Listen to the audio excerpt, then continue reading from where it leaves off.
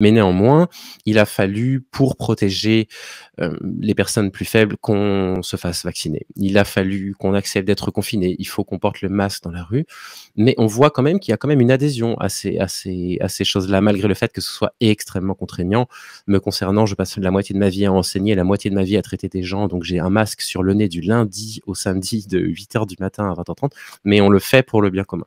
Donc on est quand même capable de le faire. Mais pour ça, il faut être capable d'accepter qu'une partie, une petite partie de, nos libertés compte peut-être moins que le bien commun. Et je ne sais pas ce que tu penses de ça, mais je ne suis pas sûr qu'on soit vraiment prêt à, accepter ces efforts-là dans, tous les domaines.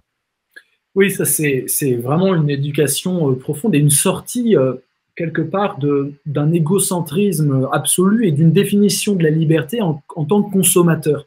Et on le voit d'ailleurs avec cette crise, il y a tout un mouvement d'extrême droite qui utilise le mot liberté qui le, qui le brandit en disant c'est ma liberté et je vous emmerde en fait. Absolument. Et, donc une vision presque antisociale euh, de la liberté qui est euh, alors aux, antino, aux antinomies de, de, de, la fraternité, de la sororité, de la delphité si on préfère ces mots-là. Donc ce qui est intéressant c'est que en fait, le combat n'a pas lieu euh, dans une visée, euh, je dirais, totalement violente.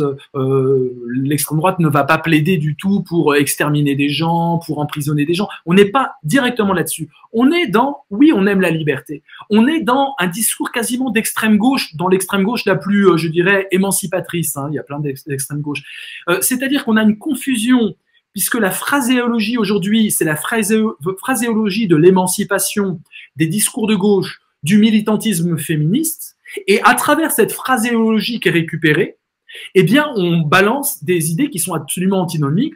On, par exemple, le transactivisme antiféministe, quand il est antiféministe, euh, utilise une phraséologie féministe pour inverser tout et sème une confusion absolue. Alors nous, on est formés, on a les anticorps, on a plus de 30 ans, on a été à l'école, on a milité tout ça.